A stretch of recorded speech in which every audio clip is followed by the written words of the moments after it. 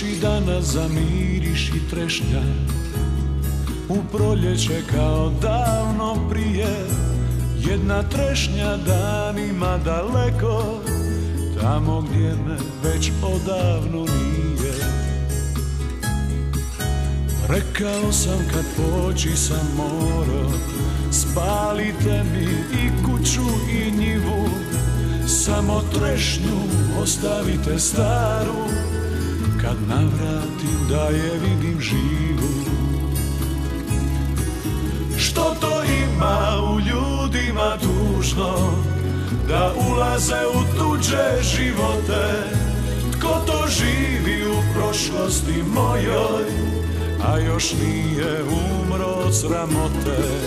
Što to ima u ljudima tužno Da ulaze u tuđe živote Tko to živi u prošlosti mojoj A još nije umro od sramote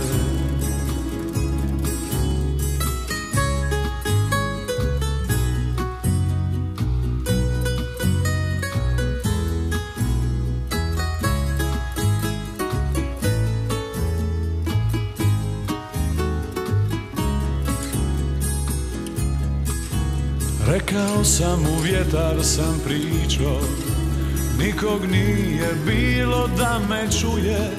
Lijepu pjesmu ne voli baš svatko Neko baca kamen na slavuje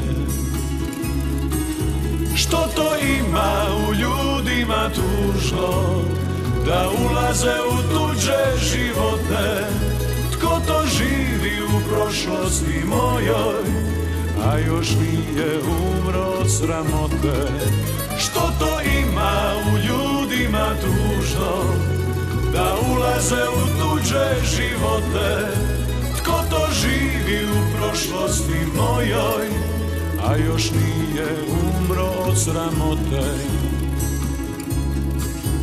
Još i danas zamiriš i trešnja U proljeće kao davno prije jedna trešnja danima daleko Tamo gdje me već